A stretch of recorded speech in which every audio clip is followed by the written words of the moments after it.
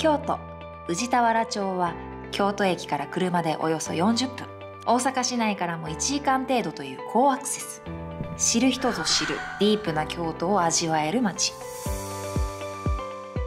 日本緑茶発祥の地としても知られお茶文化に育まれたおもてなしの心があふれるハートフルな街でもあるんです。ちなみに街の形もハート型なんだとか。ハート。江戸時代緑茶を生み出したのが長谷宗園という人物。復元された清家では当時のホイール跡も見ることができお茶の歴史が学べます。どうぞ宗園さんの煎茶です。いただきます。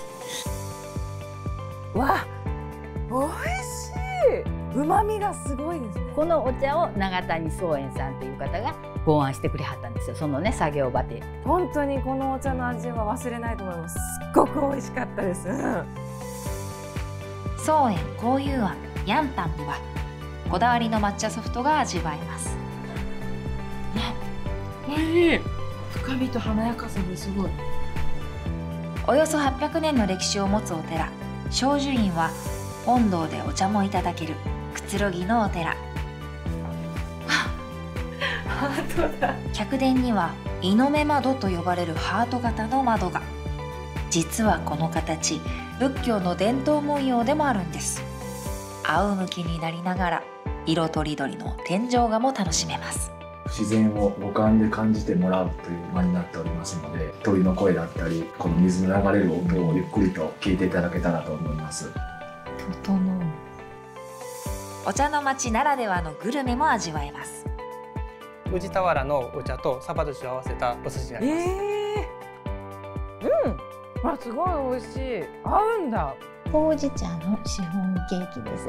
あー本当だ。ほうじ茶の香りが。うん。華やかに。ふわっと広がる感じ。美味しいですすごい。最後に訪れたのはガラス工芸作品の仕入れと販売を行うチコガラス衣装ガラス工芸体験もすることができます。で焼き上がるとこういった形に完成品が。かわいい。代表の中山さんは埼玉県からこの地に惹かれ移住し開業したのだとか。